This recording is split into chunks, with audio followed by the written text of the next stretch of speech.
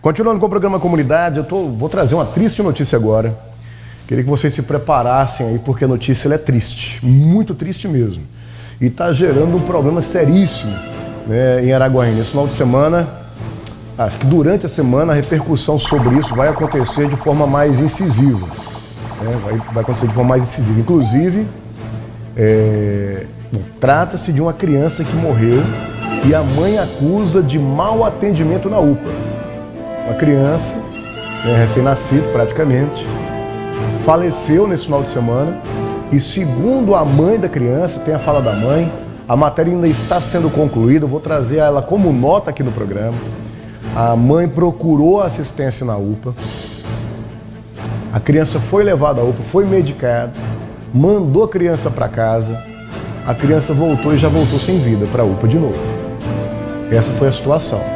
A matéria está sendo concluída, construída. A, a nossa equipe está fazendo a edição, né, está fazendo a edição dessa, dessa matéria. Então, logo mais no Band Cidade com Flávio Leal e no final do dia, no Araguaína Urgente com Rodrigo Magalhães, você vai ver a matéria completa. Por enquanto, eu vou trazer ela como nota, uma matéria preliminar. Então, essa aqui que eu vou trazer agora não é matéria concluída. Vou pegar algumas informações, passar para vocês, para que vocês tenham ideia do que aconteceu. É uma menina de apenas 10 meses morreu após passar pela unidade de pronto atendimento UPA. Segundo a mãe da criança, a mãe dela tem 17 anos de idade. Ela relatou à equipe de reportagem que por volta da meia-noite de sábado, após a criança apresentar um cansaço na sua respiração durante o atendimento, a mãe da criança relatou que após os profissionais de saúde avaliarem a criança, ela não estava com febre e que a médica teria receitado duas injeções, sendo uma de pirona sódica e outra que a mãe não lembra o nome. Além de passar um remédio para gases, que talvez poderia aliviar os sintomas da criança. Ainda segundo a própria mãe, a enfermeira entregou uma dose em uma seringa para a mãe aplicar é, na criança em casa. É, a passagem da filha né, e da mãe na UPA foi entre meia-noite e três da manhã, já de domingo.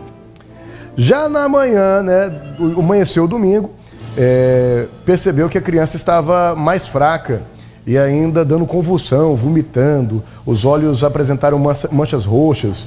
A mãe pegou a criança e voltou para a UPA novamente e entregou nos braços profissionais de saúde. A própria mãe acredita que a filha morreu mesmo antes de chegar na unidade hospitalar.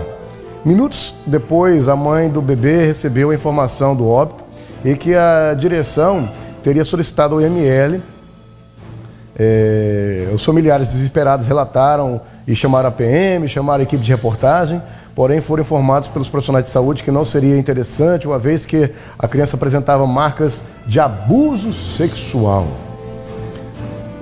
A PM chegou aí no local, a denúncia seria que a família estava tumultuando a unidade. Segundo a PM, não foi relatado a eles o que a mãe falou com a nossa equipe de reportagem, por isso não foi registrado um boletim de ocorrência.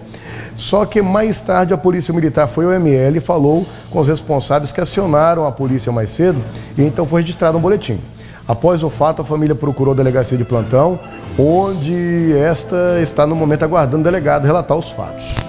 Então é uma situação complicada. Você está vendo o tamanho do, do problema?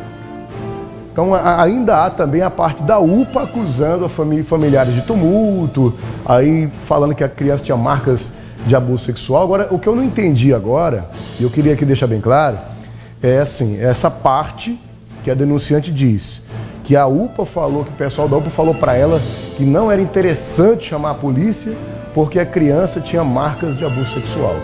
Aí é que tem que chamar a polícia. Chamar a polícia, conselho tutelar, guarda metropolitana, né? Todo mundo. Se uma criança como essa tem, tem marcas de abuso, a primeira a ligar era profissional da saúde, independente da mãe. Então, assim, a mãe fala alguma coisa aqui, né? Ó, eu vou, vou ler novamente. Minutos depois, a mãe da bebê recebeu a informação do óbito e que a direção teria solicitado o IML. Desesperado, familiares relataram que em chamar a PM e a reportagem. Porém, Marcelo, olha aqui, ó. Olha aqui ó, o equipamento. Porém, foram informados por profissionais da saúde que não seria interessante, uma vez que a criança apresentava marcas de abuso sexual. Bom, se a criança apresenta marcas de abuso sexual, o profissional da saúde é obrigado, por força de lei, a chamar a polícia na hora, independente da vontade da mãe ou não. E a mãe é que conta o contrário. Tem a fala da mãe aí? Vamos colocar um trecho da fala da mãe. Eu não tive tempo de acompanhar, entendeu? Então nós vamos aqui dar voz também à, à, à direção da UPA.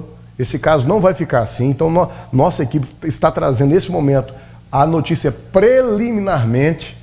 Então aqui são, a, são parte inicial da reportagem, mas nós já vamos começar a dar corpo a ela e durante todo o dia na nossa programação nós vamos colocar isso em evidência. Põe na tela para a gente a fala da mãe.